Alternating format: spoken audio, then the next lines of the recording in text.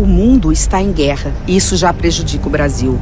Quando fui prefeita, doei 50 hectares para a Petrobras construir a maior fábrica de fertilizantes da América Latina. A obra está parada desde 2015 por incompetência e corrupção. Agora o governo quer vender a fábrica para a Rússia. Conclusão: a comida pode ficar ainda mais cara.